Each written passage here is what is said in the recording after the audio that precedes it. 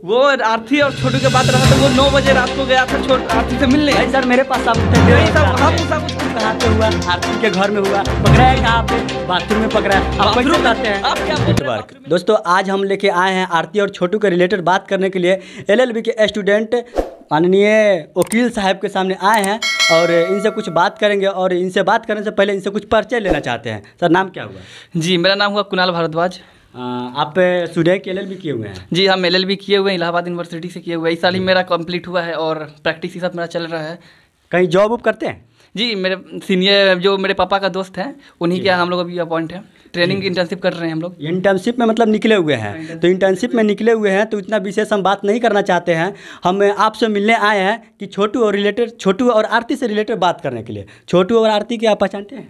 जी छोटू और आरती को हम बहुत अच्छा तरीके से पहचानते हैं। उनका इंटरनेट पर बहुत ज़्यादा वीडियो वायरल भी हुआ है उनका पीएल फ़ाइल भी हुआ है हमारे यहाँ। तो हमारे जो सर हैं वो पी फ़ाइल किए उनके खिलाफ आवाज़ भी उठा रहे हैं बहुत ही अच्छे तरीके से।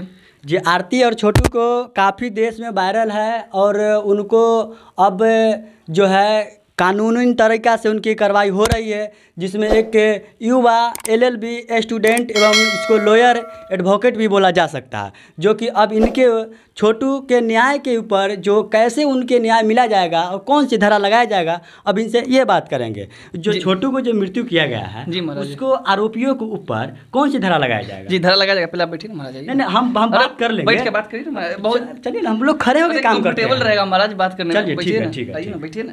हाँ जी।